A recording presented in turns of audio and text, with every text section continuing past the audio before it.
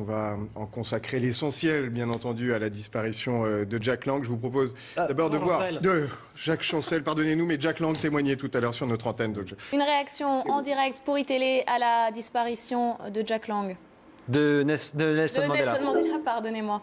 De Nelson Mandela.